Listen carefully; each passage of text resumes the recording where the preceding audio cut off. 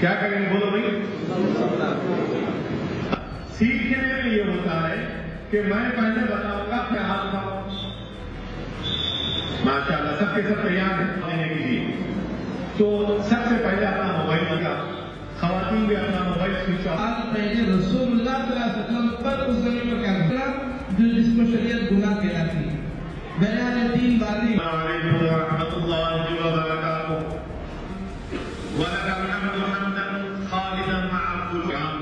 جو جمعیت العلماء کے خدمت کرنا یہ ہے کہ آپ حضرات جمعیت العلماء ضلع کمرے ریاست آندھرا پردیش کا پہلا میڈیم ہوا جیسے حج اللہ فرض ہے۔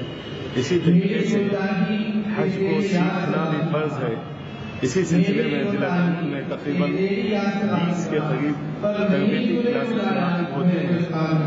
اور جاج کرام جتنا سیکھ کر جاتے ہیں اتنے ہی انعامات کی بارش ان پر ہوتی ہے۔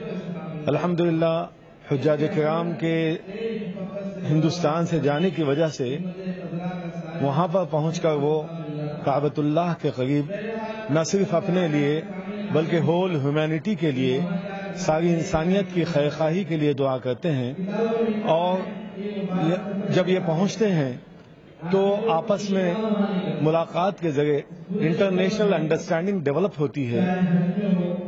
دعائیں قبول ہوتی ہیں۔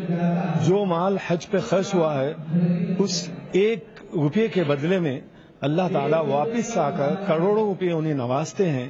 یہ نبی اکرم صلی اللہ علیہ وسلم کا فرمان کا خلاصہ ہے۔ اسی لیے خصوصاً ان تربیتی کامپوں کے ذریعے پیغام دیا جاتا ہے کہ جن لوگوں پر حج فرض ہو چکا ہے، وہ جلد سے جلد حج کا ارادہ کریں۔ چاہے ان کے بچوں کی شادیاں نہ ہوئی ہوں یا ان کی دوسری ضرورتیں ہوں تو بیماریوں سے شفا کے لیے، بچوں کی شادیوں کے لیے اور اسی طریقے سے اپنی دیگر ضرورتوں کو پورا کرنے کے لیے اللہ کے گھر پہنچ کر اللہ سے دعائیں کریں گے تو یقیناً ان کی جھولیاں بھری جائیں گی۔ اللہ ہم سب کو عمل کی توفیق عطا فرمائے۔